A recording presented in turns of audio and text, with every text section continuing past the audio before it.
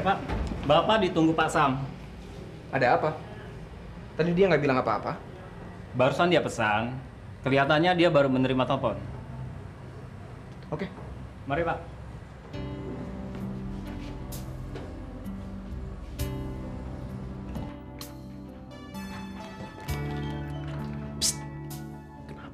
Sudah ditunggu. Masuk saja.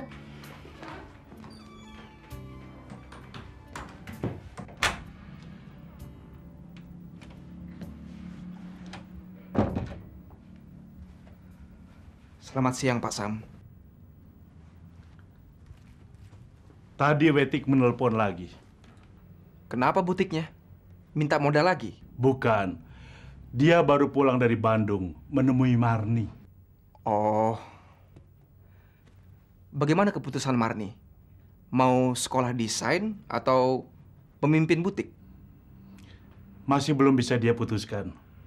Pikirannya masih kalut karena kita pisahkan. Ya, tapi bagusnya Wetik kan teruskan saja siapkan cabang di Bandung, Pak.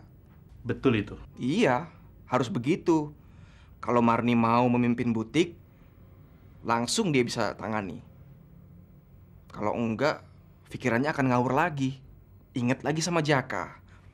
Kita repot lagi. Aku tidak repot, Edi.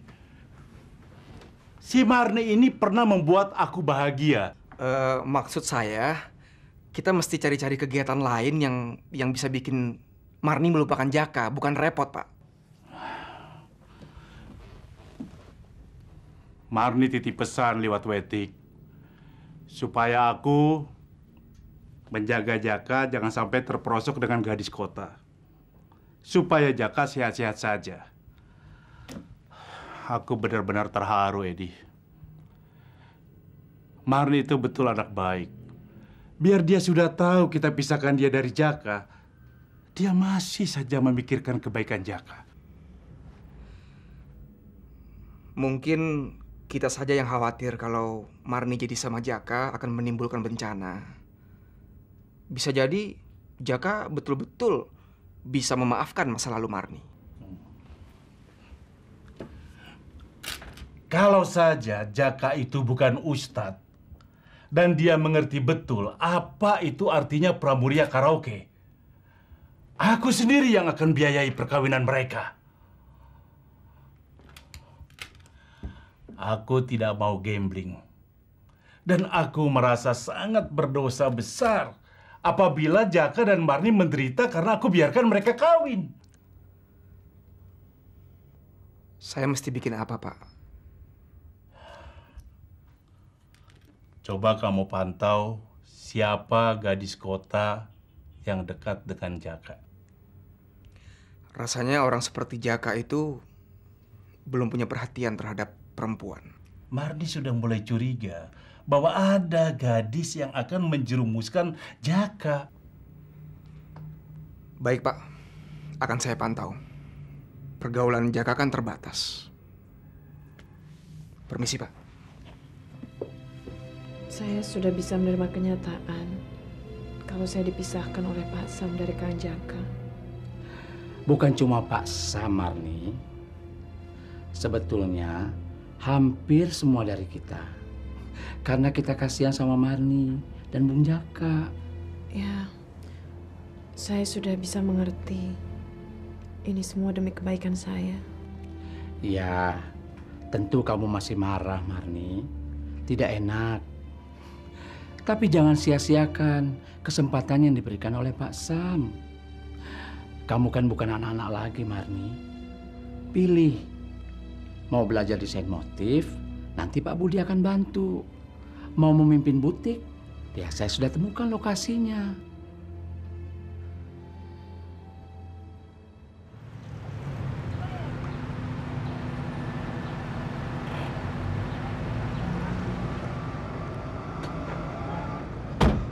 Bagaimana yang ini, Mar?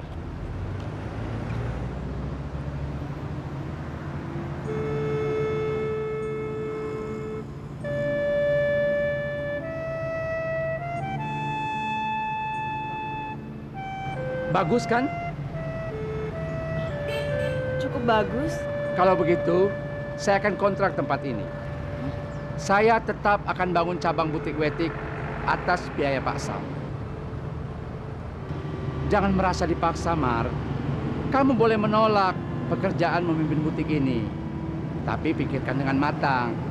Jangan cuma jadi mangsa perasaan. Pikirkan masa depan.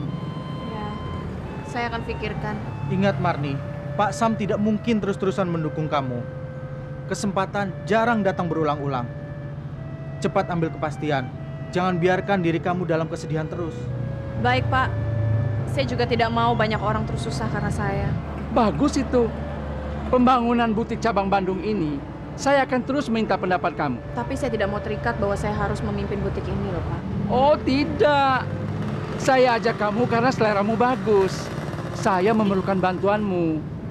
Juga, kalau memang kamu sudah memutuskan untuk memimpin butik ini, keadaannya sudah sesuai dengan kemauanmu. Bagaimana? Mau bantu kan?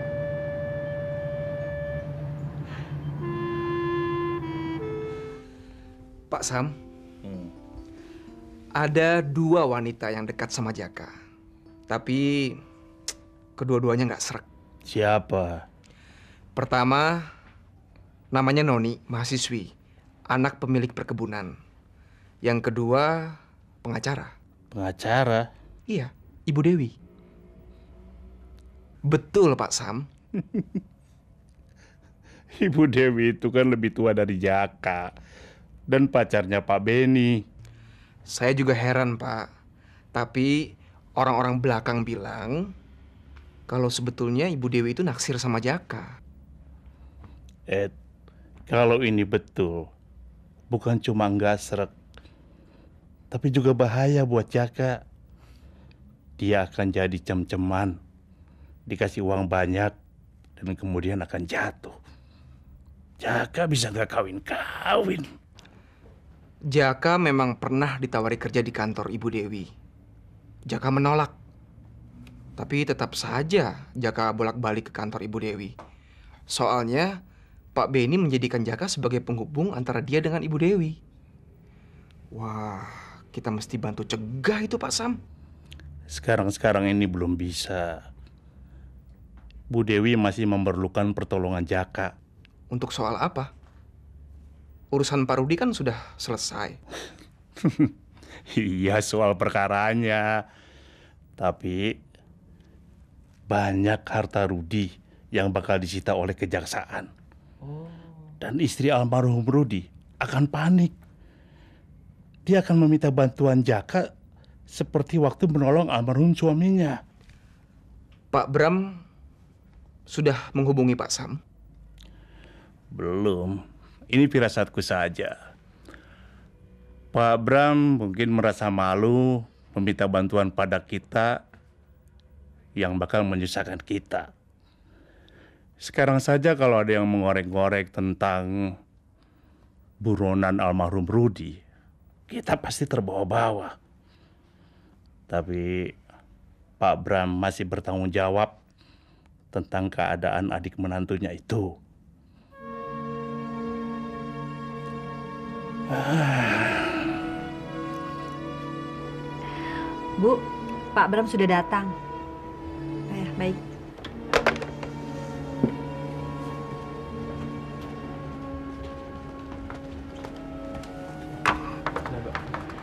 Terima kasih Pak ya. Silakan Pak Bram. Nah, selamat siang. Siang.